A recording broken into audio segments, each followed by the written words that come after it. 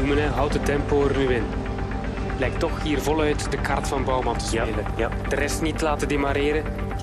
Het wat Tom heeft meegemaakt, gaat hij nu toch geen Giro-rit weggeven? Nee, alleen voor Koen. Hij rijdt puur voor Koen.